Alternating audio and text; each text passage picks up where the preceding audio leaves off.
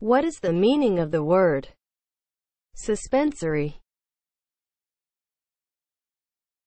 as a noun? A bandage of elastic fabric applied to uplift a dependent part, as the scrotum or pendulous breast. Suspensory is spelled S U S P E N S O R Y. Suspensory